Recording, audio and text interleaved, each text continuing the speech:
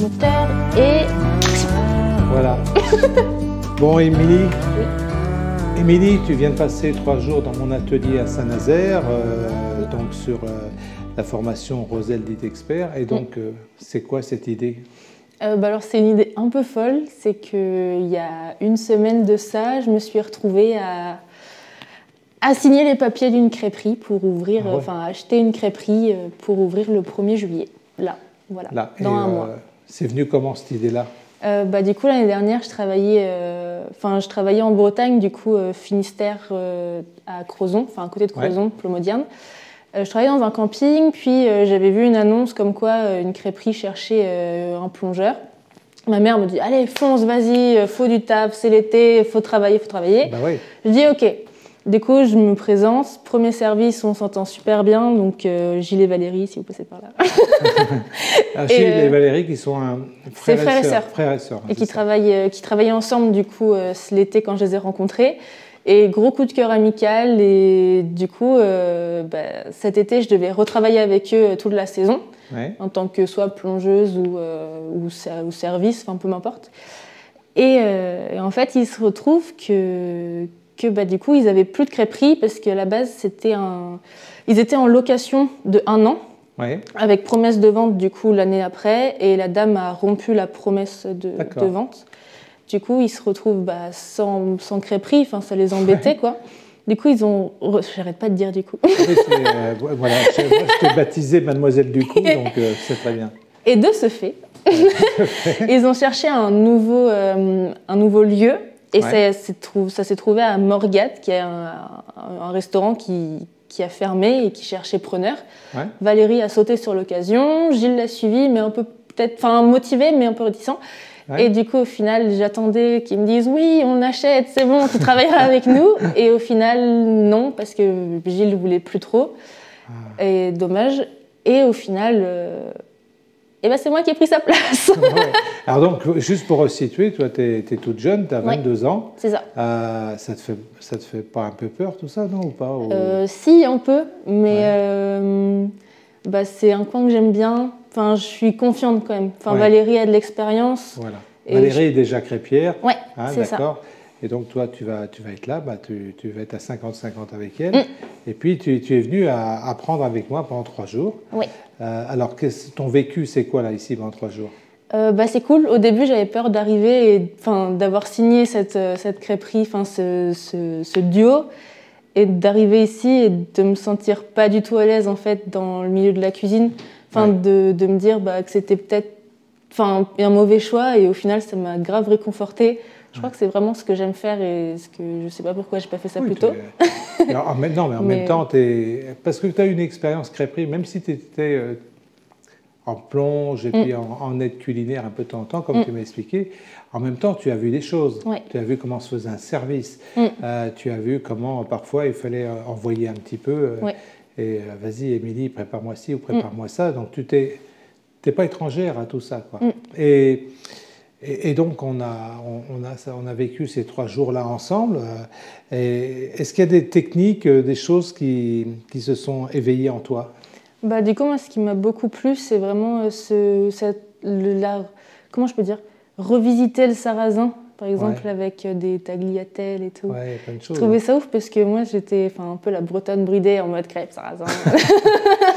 c'est oui, un rond toi, plié partie, en quatre. tu fais partie des Finistériennes qui ont inventé la Bretagne, c'est ça, ça ah, C'est ça. et ouais, et non, du coup, cette idée de. En fait, tous ces trois jours, ça résonnait vraiment avec les idées que Valérie avait déjà en tête en reprenant du coup ce, ce restaurant. Et du coup, j'ai pu vraiment creuser moi et du coup, je vais pouvoir vraiment apporter ma pierre à l'édifice en ouais. apportant des nouveautés. Et déjà qu'elle avait pas mal d'idées, enfin beaucoup, vu que enfin, j'ai pu voir euh, tout ce qu'elle faisait l'année dernière. Et je trouve qu'avec ce renouveau, de, aussi avec le Covid, apprendre à faire de la vente à emporter, de savoir comment on peut gérer ça et ouais. comment amener de la nouveauté à la crêpe, du coup, je trouve ça hyper euh, intéressant. Ouais. Enfin, nouveau, et, et, oui, oui, c'est clair. Hein. Moi, j'ai.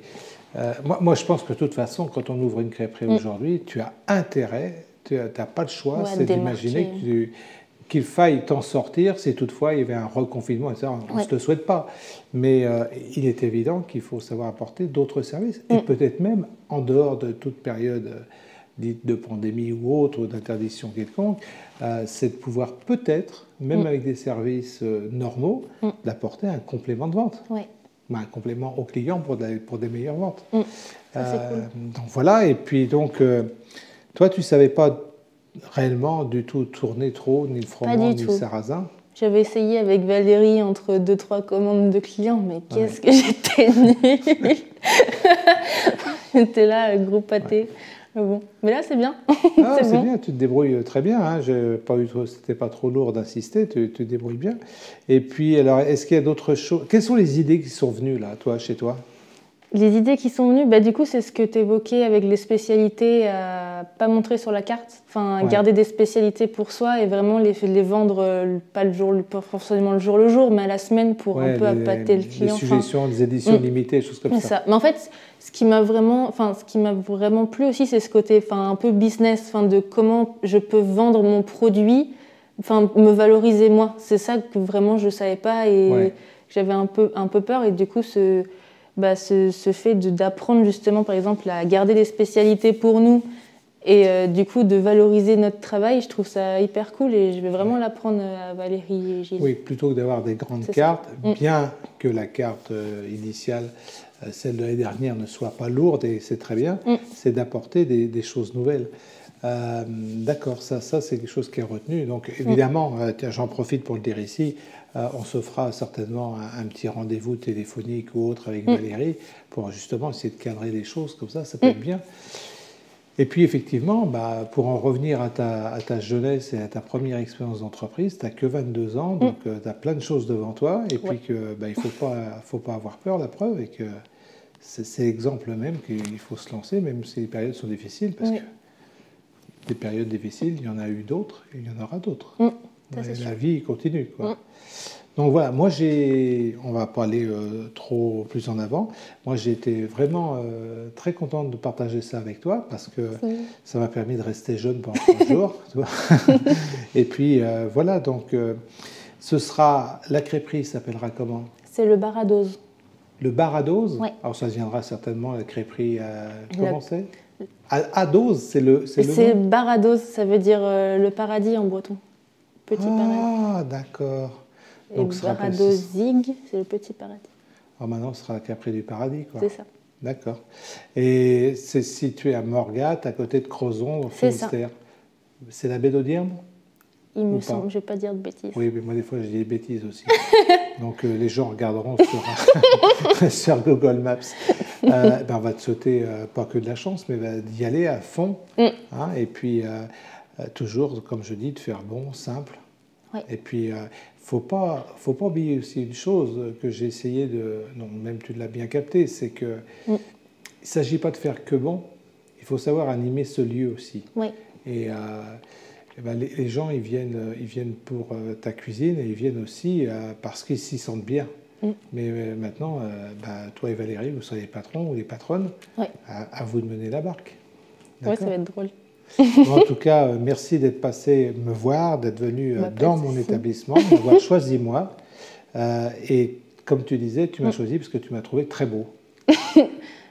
ouais, c'est ça. Grossement. c'est trop bien. En tout cas, bonne route. Merci. Et puis à très très bientôt. Merci. Salut. Salut.